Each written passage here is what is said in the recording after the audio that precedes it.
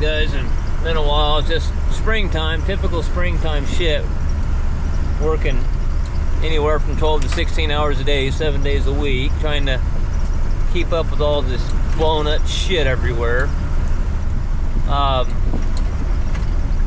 that pickup wasn't sitting here the other day. Okay, a, this is a Cat 938H loader. They're putting potash on this field out here.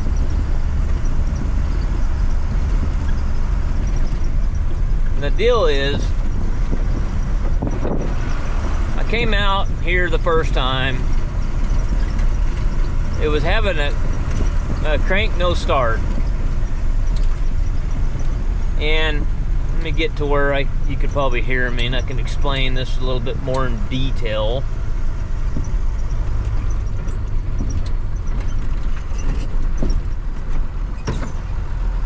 Tractor sitting there.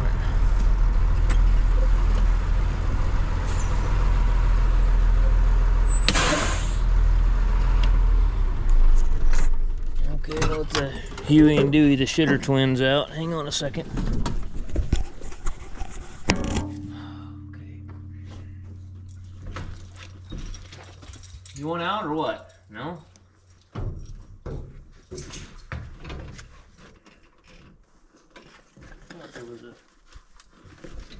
Sack or something with these parts. I thought there was a sack with these parts. See what we got. I know there was a sack. There's a sack in here.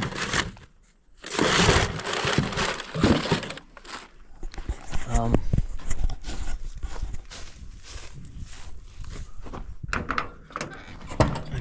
was. There it is right there.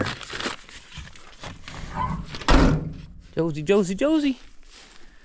Anyway, um, so it had a long crank start, or no crank, actually, it wouldn't start at all.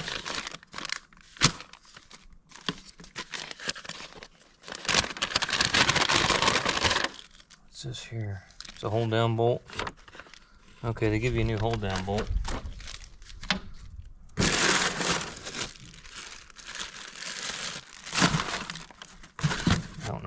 Is on this because I haven't done one of these in a long time. But that's my invoice. Just some kind of bulletin what is this? Cat. Basically, this is a 6.6 .6 Perkins is what it is. Espanol. No comprende. English is English isn't even in the son of a bitch, huh? So I guess... Huh. Okay. So I guess if you're an English-speaking guy, then you just don't get any directions or shit, huh? Just if you're in Spanish, huh? Yeah. That's pretty cool, huh? Alright.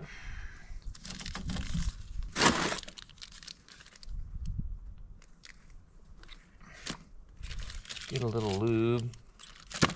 Ah, oh, shit, the copper came off.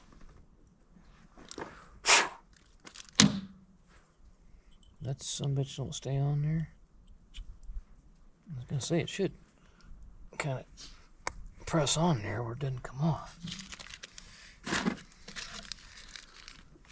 It's one of those deals I hooked the laptop up to it and you could see what your rail pressure was and it wouldn't start and it was only building about 1800 pounds of rail pressure and you can see the decay you know the decay what i mean by the decay is that's a cummins term i think because i've always mostly worked on a lot of cummins.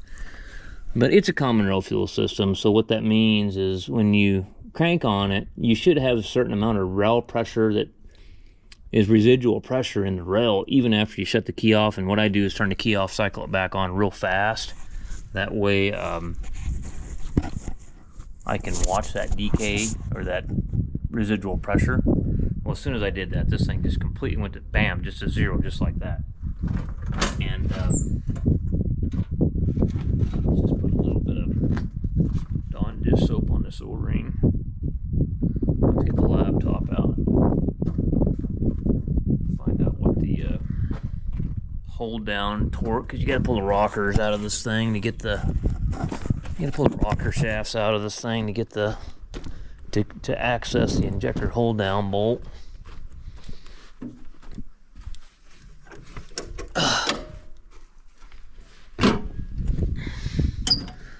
okay so I just need that for right now let me get a pair of rubber gloves on because this this engine oil I told John, I said, man, you need to change your oil on that. That stuff is black as molasses or black as midnight.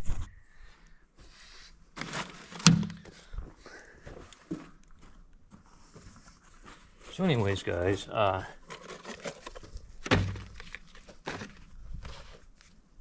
what the deal is, I had, I've got all kinds of, a multitude of fuel lines that I've if I get a new kit and it comes with new fuel lines, I'll keep the old ones and I'll cut the ends off and I'll make caps out of them. And uh, that's what I did.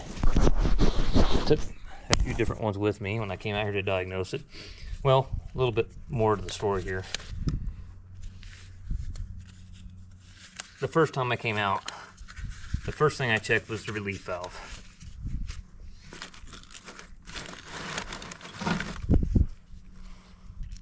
Okay, we're gonna have to get up there and pop that valve cover off first. And I pulled the return line off the relief valve and I put my remote starter cranking starter button on here. And I cranked on it and fuel was coming out the relief valve. So I bought a relief valve and put in it and I did that again, it still wouldn't start. But I did check it and it wasn't coming out there anymore. So that was a problem too. And uh, anyway, I came that when I when I put the relief valve in, then I did the final diagnosis on it, and then I pulled the number six off right here, and I capped it, and then that end thing started right up on five cylinders. So I knew that was the problem. Was number six injector, and another little bit of part of that story. I actually got it running after I replaced the relief valve and it had a fuel knock at an idle. And uh, I cut cylinders out one at a time.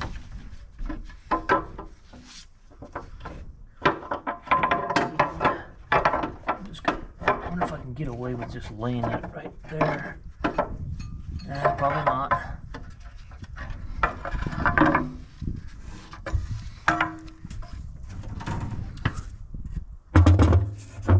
But uh, Anyway, uh, let me get the injector. So, I, uh, shit on lens here. Let's grab an 8 millimeter. If I can try to make this. Look how black that shit is, man. That shit is nasty. Nasty shit. What was I saying? So, Oh, I cut the cylinders out one at a time, and when I got to number six, the fuel knock went away. Completely went away. And I had a suspicion it was number six, so that's the reason I went to number six first. And sure as shit, I put, I went to number six, and it, it was gone. Just like, I mean, I, I capped number six off, and it fired right up, just like nothing. So I called the owner, and of course, you know, I'm doing, I know what everybody, oh, why don't you just change all six of them, which I agree with that. I, I agree, but you know, hey man, I do what the customer wants, okay? And the customer wanted to only change one, so that's what we're doing.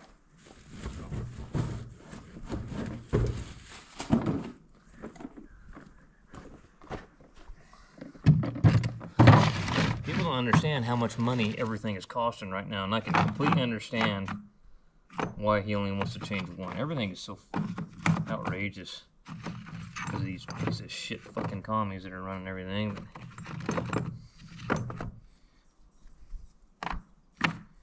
Okay, where is... Oh, that's right. I didn't have a short one that fit that. It's a T40. And all I had was for a T40, which is better anyway, was one of these long ones in here. Maybe this is, no, it's a T50. That should be a T40 right there. Yeah, it's a T40. Okay, try ratchet. Alrighty. Also have to come back and get a torque wrench, get the laptop, figure out what the torque spec is. It's probably in Spanish there, but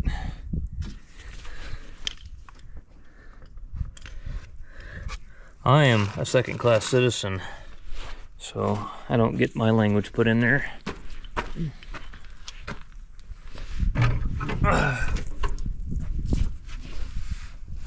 Okay. Alright, let's see here. This work here for you guys. Okay. I don't know if it's gonna work or not, but we'll try her. Damn it. I'm trying to spot this.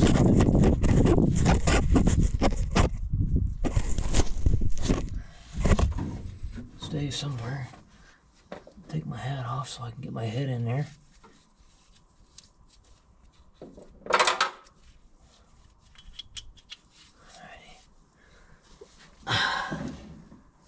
Okay, where's our valve bridge at right here? These valve bridges, you gotta watch them, they'll pop off of there. Make sure all these valve bridges are on. They stick to the rockers when you pull them off, so, and you'll think they're on, but one end will be off this valve stem and it'll really screw you.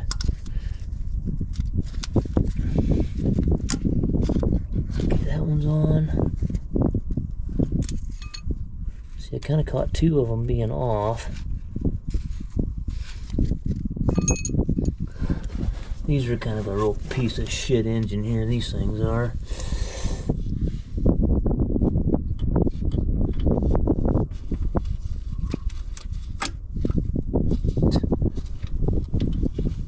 There's a little rubber sleeve type deal that goes over that.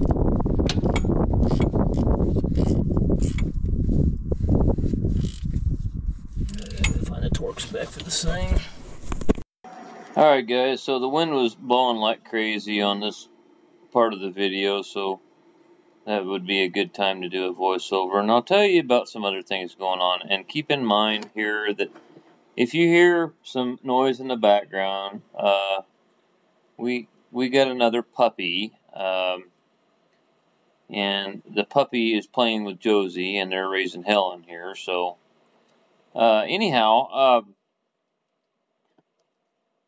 tell you a little story about the guys remember the 83 Freightliner cab over that brown one that uh, I put injectors in, and did some other work to this winter. Well, it didn't last very long, and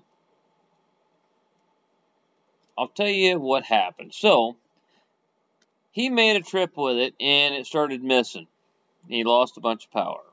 And he made it all the way over there and got his hay unloaded on the coast and came all the way back, basically on five cylinders. And so, I, uh, he parked it at his house. He kind of lives over there towards Malin. It's about about maybe, I don't know, 45 minutes away from my shop.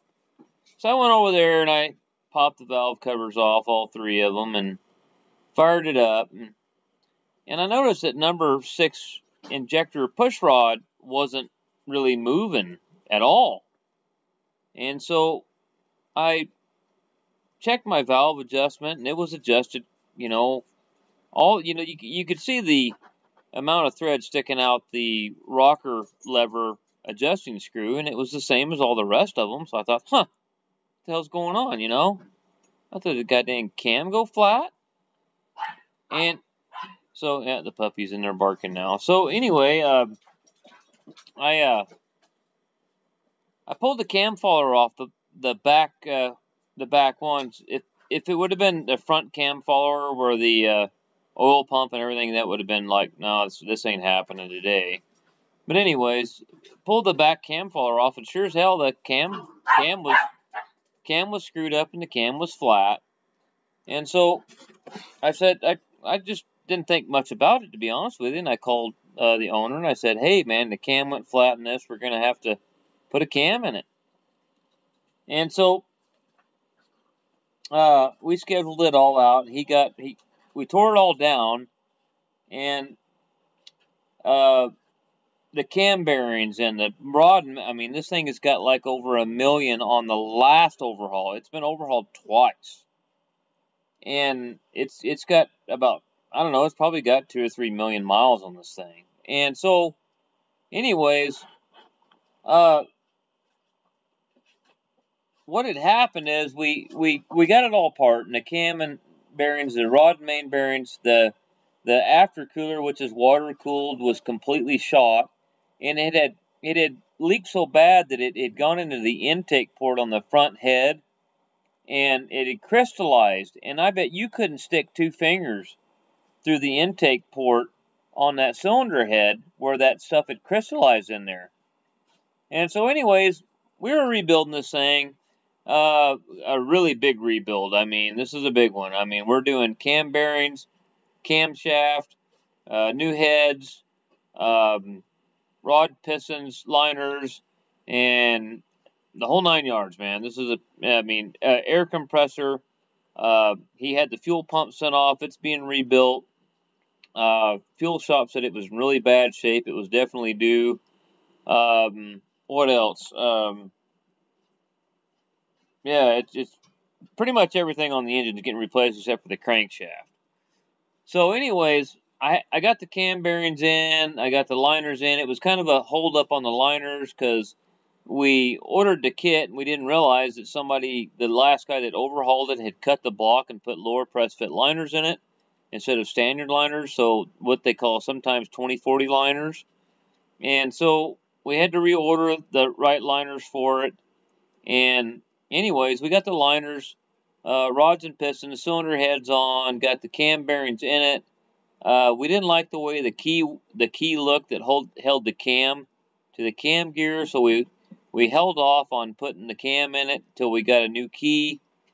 And so uh, I was going to put the injectors in it, and Dwayne, the owner, actually noticed it that he said, "Look at this push rod." And I went over there and looked at the push rod, and the push rod was bent and I thought, huh, them push rods were not bent before I put the injectors in it. And he goes, what the hell caused it? And so I, I got to looking at the injectors, and I had laid the injectors on the on the bed of the truck. It's a hay truck. It had a flatbed on it. And number six injector, I, I laid them out in sequential order. And number six injector was cleaner on the tip and of the injector than all the rest of them were. And so I was looking at it there and I popped the link off the top of the injector and I, I popped the link off another one.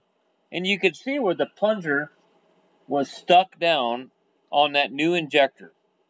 And I told I told uh, I told Dwayne I said look at this and he goes what and I said look at the difference so I took the link and I put in, in both in, in both injectors and I put the link up against the bed of the truck on number five injector, and I could push the injector link in by pushing on it. Now, number six, I couldn't move that some bitch at all. And I said, you know what happened?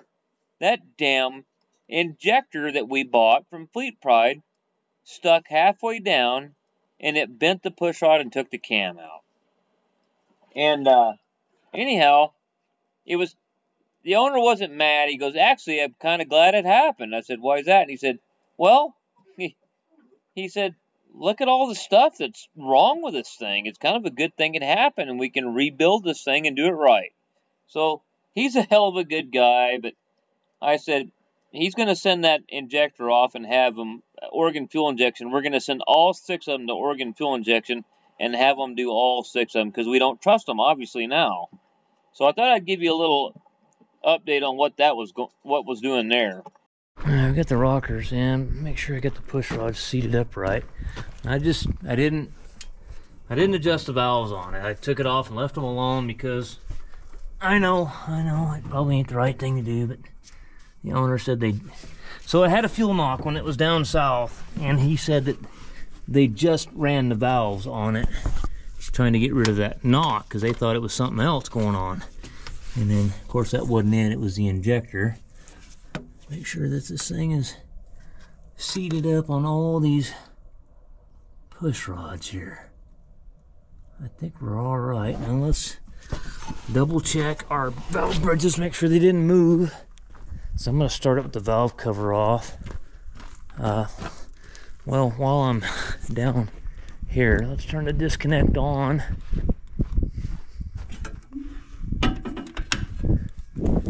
Because we're going to, these 6.6s on these loaders here, they got a toggle switch here. You can manually, this, it, there's a transfer pump on the back of the main pump right here. That's what you usually pumping all your oil or your fuel but this is just a priming pump here.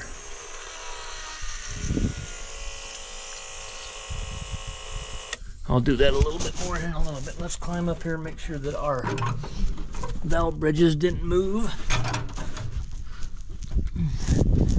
on us.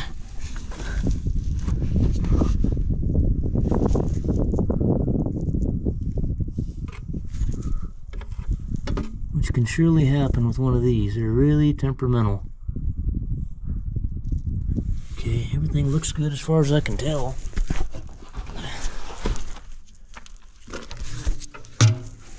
Let's just hold this for about a minute. No, but that damn big cam Cummins, that injector stuck and took out the cam. Anyways, we... I, I, I, I seen the push rod was bent and I was like, what caused that? And then I had the injectors lay in there and they were half, I mean, the, the number six injector, you could see once you pulled the injector link out of it, it was stuck. I mean, you could see where the plunger was stuck down in it. Piece of shit reman junk shit, man. I'm telling you.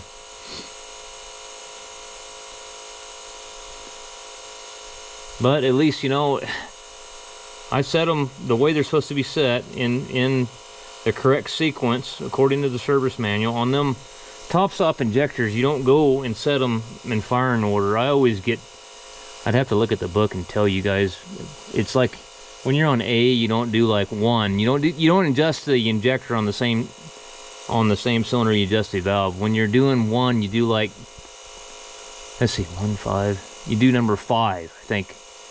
You know, it, it's it's it's it's going in sequence, but it's it's the it's the next one in firing order, if that makes any sense. Okay.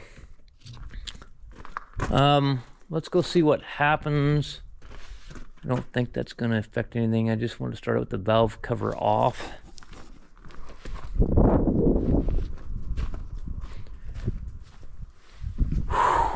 Nothing's gonna go through the turbo or something like that. Okay.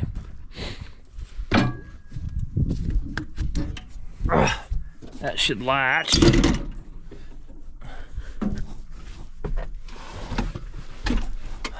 Okay, let's see what we got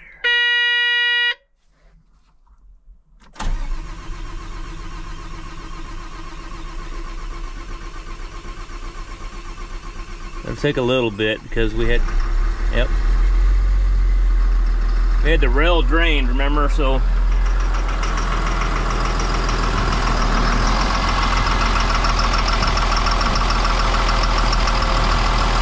That should go away because there's a bunch of fuel in that cylinder from having that injector out.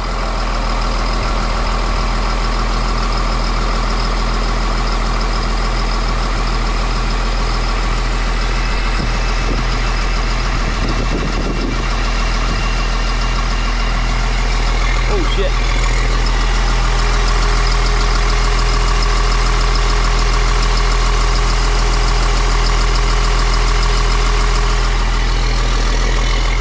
Sounds good.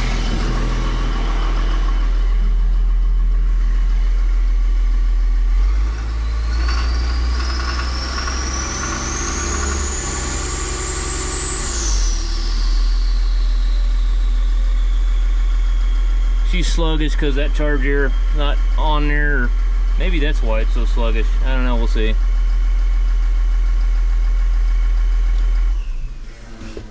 Now, it would kind of it would kind of want to start when it was cold, but once it warmed up, I mean, no, was never going to start. You could have the laptop on it and watch your rail pressure. It never would get above 1800. So we're gonna have to get the valve cover on it, go drive it, and just double check. Let's just try it one more time now.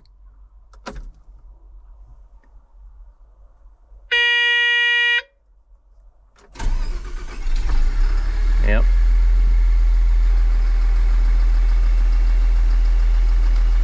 Okay, I I was a hundred percent sure the other day it was number six because, I mean, as soon as I capped that off with it hot, because I went, I did it cold, and it started up, and I thought, well, you know, that's not a very good test, and then I, uh,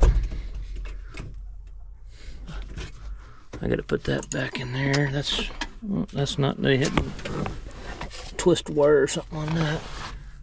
That'll make it a little easier for me to get to them bolts there for the valve cover.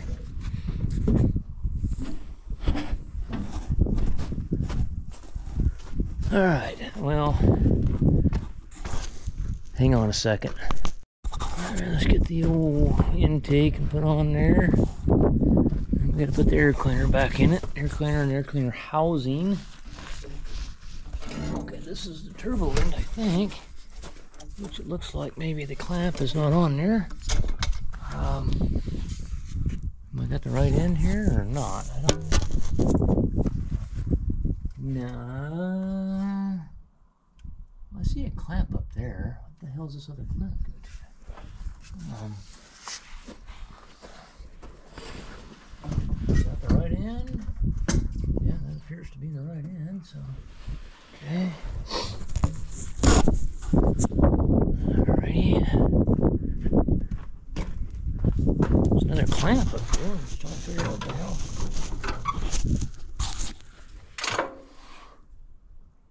Oh, it went up here. Must have went up here on top. Yeah, okay. It went up there on top. Up there. Okay. Alright guys, I'm gonna I'll be back with the battery's almost dead on this camera. I'm gonna put it on the charger and I'll put this air cleaner housing on, bolt it up in there, put that all on, and then we'll go for a drive. Let this charge for a while. All right, let's see. We might still have a little bit of a crank to start because I didn't let it run very long.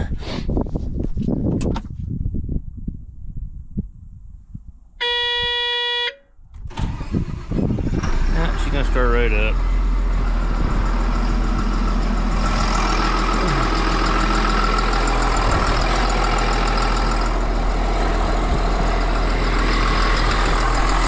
Alright, shut the hood.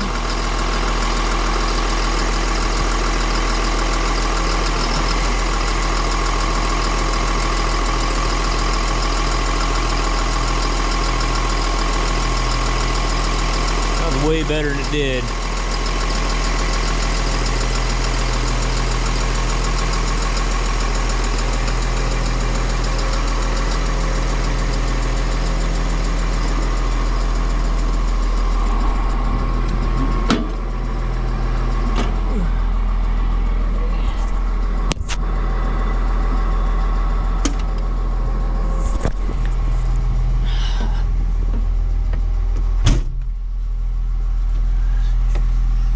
Hang on a second, guys. Let me just throw it over here.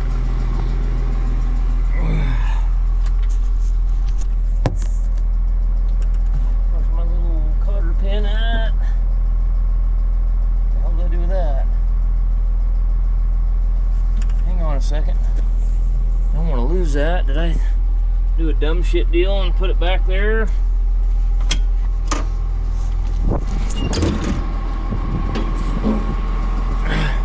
Probably did.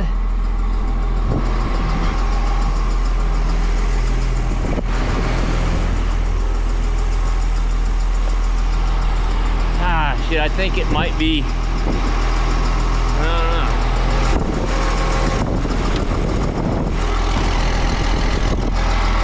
There it is, right there.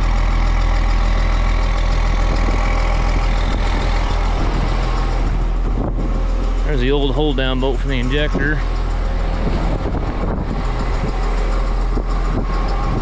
Look at a little bit of a clatter there, didn't it?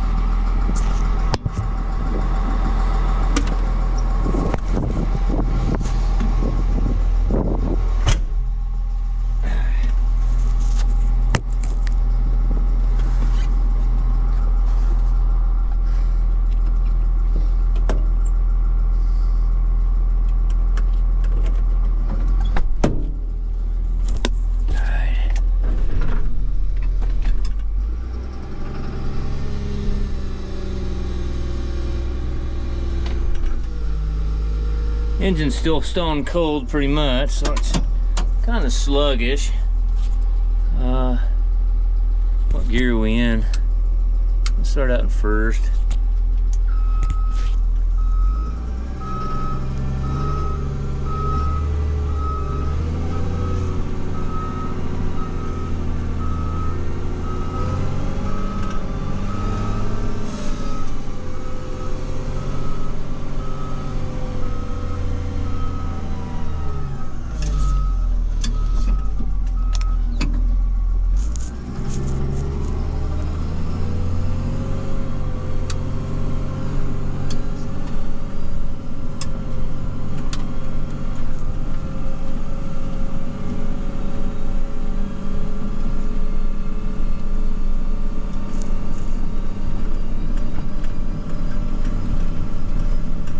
Well, I went down here the other day and I came down where the oh the road 90s and goes back to the south and I just turned around and came back and I shut it off and I mean as soon as I shut it off it would not restart.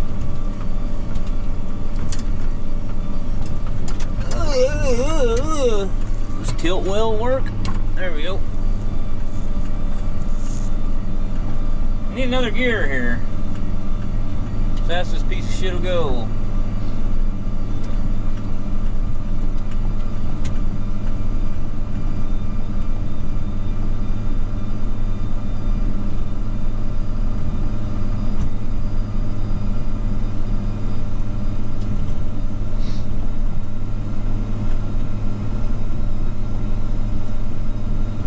I only got like four codes left in that PACCAR.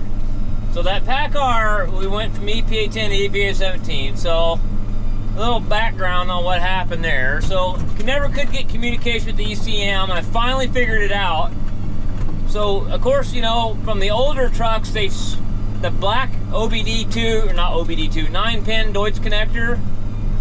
They switched the pins around when they went to the green nine pin for the 500 kilobyte baud rate. So what they did also on those, they added an OCAN channel. And I found out that that OCAN channel was added for the EPA or the government to tap into the to directly tap into the emissions.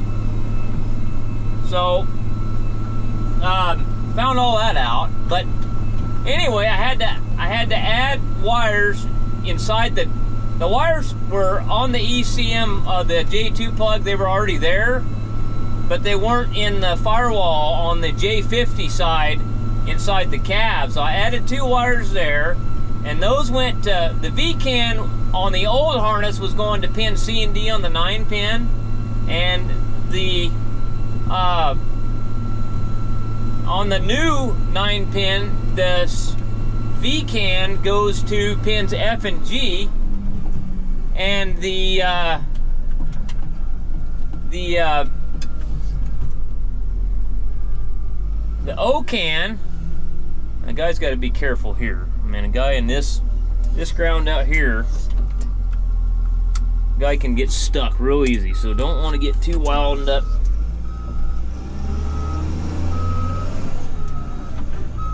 So the, V can goes to F and G, and the O can goes to C and D.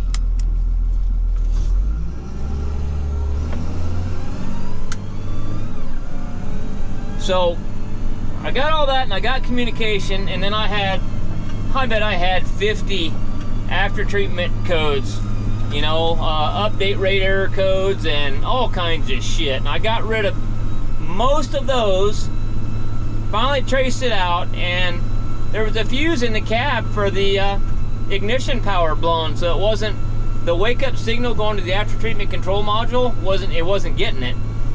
So I got all those fixed. The only ones I got left, I've got something going with the instrument cluster because it's not communicating with it right. And then I've got four throttle position sensor codes because the old truck had an analog throttle position sensor with an idle validation switch, whereas the new, uh, oh, the new one has a, uh, why is that temperature on right there when I mean, that shouldn't. Nothing's hot. Not certain what that's about. But anyway, um, that was on the other day too. But I, uh, I know what the. I, I called on on a comment on an ISX or any, even an N14. Uh, well, an N14 you wouldn't do it anyway. But on ISX, you can switch that in INSITE from an analog to pulse width modulated or vice versa. Well, PACCAR, they won't let you do that. You got to buy the updated throttle pedal with the position sensor for 1500 bucks. So I was trying to find just a position sensor for him somewhere. I was Googling it trying to find it, but I was having Tom trying to get me a. I was going to have Tom just get me a uh, a part number and then maybe I could Google that part number and just find the position sensor and do that. So I'm getting there and I got it started, it runs. I got it running. So anyway, I didn't I didn't really intend on doing a kind of loader's basin gut on the back of there. I think they brought their loader just in case this one didn't I didn't get this one fixed kind of curious as to what size that one is. This is a bigger loader than that one is, it looks like to me. We'll go around the barn here and we'll see what... I got to go with this end dump here. I got to go right over here to this. I guess it's got a wire on the light circuit that's blowing the circuit breakers in the truck somewhere. So I got to go look at that too. Oh no, they got Macy's out here. I see. Which I don't even know if they're Oh, it's a 930H. This is a 938.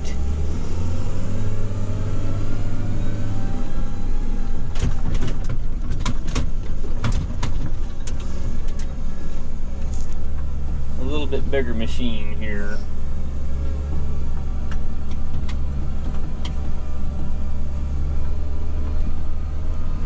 This is some pretty shit ground out here this dairyman, he bought this from down south. And I remember years ago, that fertilizer, the agronomist for uh, the fertilizer company, he said that he used to take some of this ground out here and put it under a microscope. There was so much alkali in it, looked like glass under a microscope.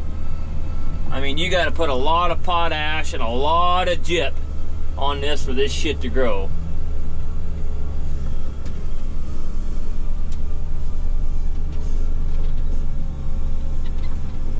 And that injector was causing a lot of problems because even one other day when I had it running, I it just was smoking and knocking and and kind of missing.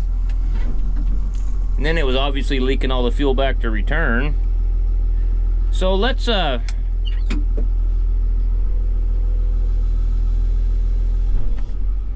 What's it sound like?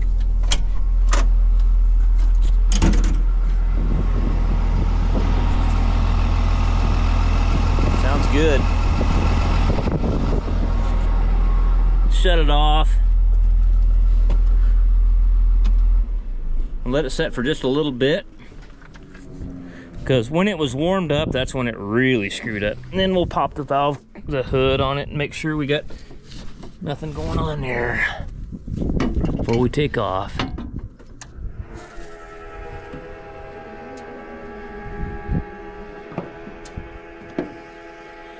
We're gonna leave the hood up on it anyway.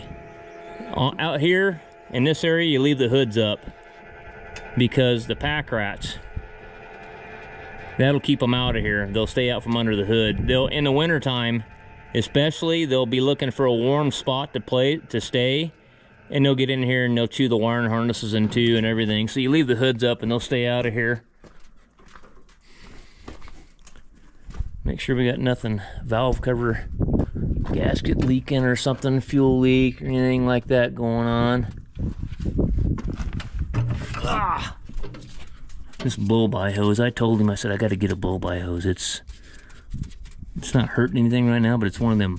It's the same thing Perkins does on all their junk, that plastic piece of shit. Okay. Where's the oil at? He needs to change the oil in this thing, man. It's black as well digger's asshole.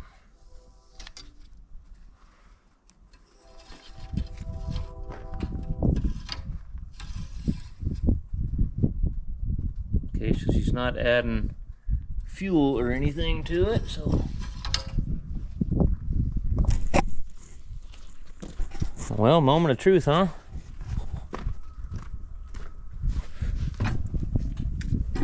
The other day, I mean, as soon as I parked it and tried to start it, it wouldn't start. As soon. So we let it set for a while. Let's see what it does.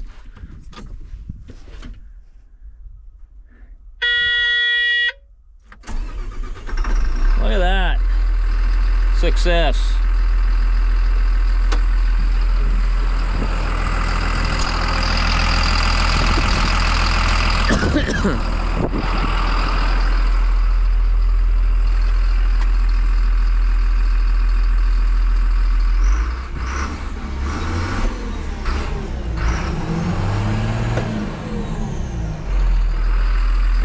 Feeling I'll be back putting more injectors in it later.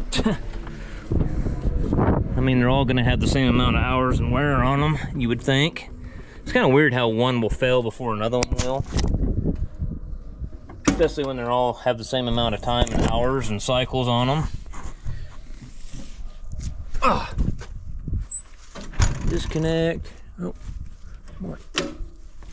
Oh, I gotta put that little wire clip back on that uh, I gotta put that wire clip back on that cotter pin for that other door. It's right there. Ah. And go in there and look at that end dump, see what the hell's going on with that. See if we can find the wire that's screwed up there. Must have had this like this. And this was wound up through the cotter pin. Something like so. There we go. If it ain't chicken shit, it sure has hen house ways about it.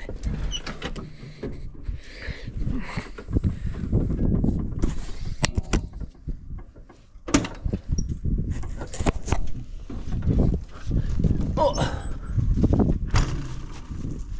oh, come on. Alright. Job completed. I'll go over here. I don't know if we'll do much videoing on this. Probably be tracing down a wire. He said that the junction box, they had it unhooked and the truck driver had figured out which wire it was that was doing it based on what light or circuit breaker it was popping in his truck. And he said he had a junction box here somewheres. I mean, you got this right here.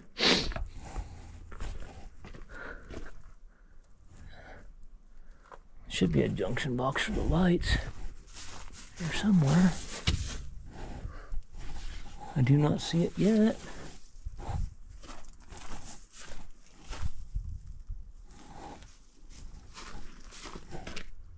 Huh. I mean, I see that, but. Oh, is this it? This goofy looking thing here.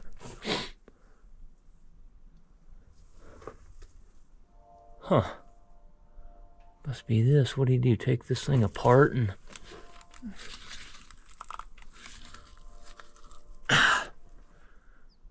Must be this.